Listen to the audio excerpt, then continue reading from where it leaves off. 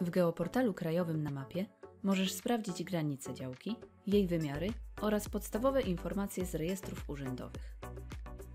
Po wyszukaniu lub wybraniu działki na mapie zostanie ona podświetlona i pojawią się wymiary jej granic.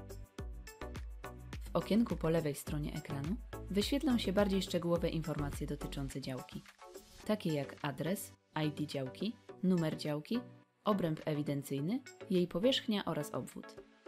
Z tego miejsca możesz także przenieść się do informacji o działkach sąsiednich.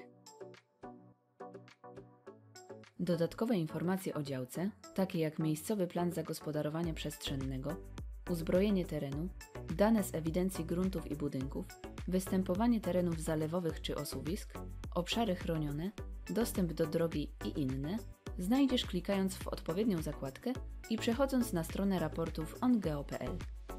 Dzięki tej platformie możesz w 5 minut wygenerować raport o swojej działce. Wybierz interesujące Cię tematy, zapłać i otrzymaj raport w formie pliku PDF.